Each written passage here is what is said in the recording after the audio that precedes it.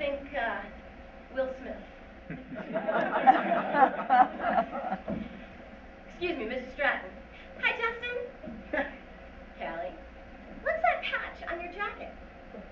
Good eye, Callie. You like this. Thin film solar fabric. Little solar panel runs the jacket. what do you mean? Well, this is the latest in Secret Service agent gear. Check it out. I don't speak into my cuff anymore. That's old school. Instead, the whole jacket picks up sound like a microphone. then I got a control panel on my lapel, cell phone charger in the breast pocket, camera in the top button, GPS transponder in the lining, and a printer in the side pocket. really? A printer? No, that'd be silly. but it is bulletproof. And I can just talk at your jacket and say hi to the rest of the team? Mm-hmm. Hi, team. Hi, Kelly. Agent tyranny. Does all that stuff make the jackets hard to clean?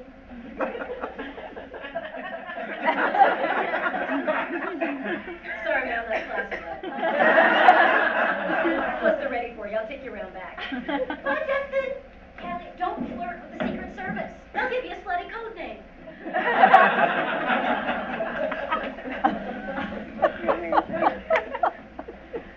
Late January. I'm having a post-writing snack at my favorite coffee shop. I'm sharing a long table with, and therefore eavesdropping on, a couple of guys having lunch. They're your classic round glasses, flannel shirt, longish hair pillars of the liberal Vermont community. They're left, but not radical, having reached the age and station where they can afford a new Volvo. They're talking about global warming. One guy is describing a documentary he saw on melting polar ice. The other had just attended a talk by James Kunstler, author of The Long Emergency, a book I simply cannot read for fear of a massive round of wrist slitting. These guys are aware, informed, concerned. They get the unsustainability of the suburban lifestyle, both living in the suburbs and driving a suburban.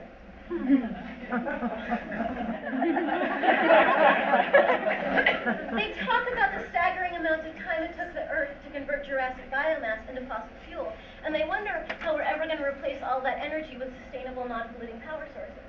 It's a great chat. And then the conversation kind of peters out because they both come to the same simultaneous realization. We're screwed. what else is there to say? So it's on to the Oscars. Did you see Capote? and I am sitting there having just read this incredible climate action plan from the Pew Foundation, and I want to turn to them and say, hey, don't give up. We don't have to be screwed. Get involved. Read this Pew paper, and then come see my show. but even if I did horn in on their lunch, even if these slightly jaded but well-meaning guys were willing to show up at the theater, would that bridge the gap between knowing we need to take immediate action and actually taking immediate action? This seems like a crucial point because if these men of education, awareness, and privilege have to change the subject, what hope do we have of engaging everyone else? Back to Rio. Ladies and gentlemen, please welcome the First Lady of the United States, Lisa Stratton.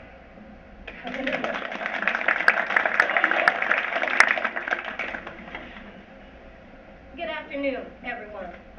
Excuse me, Mr. Stratton. I'm Sarah Funafuti from the island nation of Tuvalu. Tuvalu? Oh, I can't think of any well-known Pacific Island actresses to cast here, so for now, just think Whoopi Goldberg made up to look vaguely Polynesian.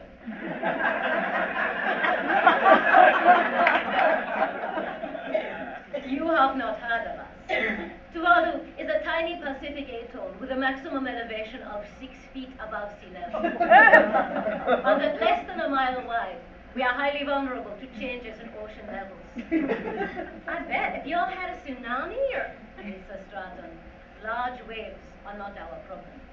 With the melting of polar ice and glaciers, ocean levels are rising. Our beaches are eroding. Seawater is coming up through the soil. Our crops rarely survive. We are being absorbed back into the sea. Miss Funafuti, I'm so sorry. I'm certain you are. However, your pity serves no. Nor will it aid the many other island and coastal people facing impending disaster. Ms. Moonfree, I'm deeply committed to addressing humanitarian crises all around the world. And I'm here representing our administration, which also feels strongly that, oh. Stratton, I accept your concern, but I do not accept the administration has any interest at all. The U.S. contains less than 5% of the world's population, but consumes 25% of its energy, and is the world's largest emitter of greenhouse gas. Really? Dang. yes, and that number is going up. Well, you have not been adhering to climate treaties or reduced pollutants of any kind. Well, Ms. Funafuti, I can assure you, when I get back, you can assure me nothing. Action must be taken right now. And so I am here to place you as this gathering's most prominent representative of the USA under global citizens arrest. You can't arrest me. I have an enormous security detail with jackets. Plus, it's my birthday. Do not worry. We are Pacific people. we promise to be very nice and sing you happy birthday.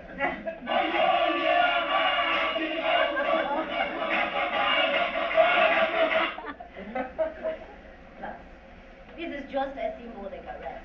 I cannot take you back to Tuvalu. We are all getting ready to move to New Zealand. New Zealand? Well, we could have moved next door to Kiribati, but after we saw Lord of the Rings. oh. anyway, we also have a litigation lawsuit planned, but this seemed more colorful and media savvy. Um, it is. Okay, arrest me, but can I finish my speech first? Mrs. Stratton, I'm sure you're a very nice lady, but if you're speaking for the United States, you have about as much credibility as uh, Tuvalu has a dry future.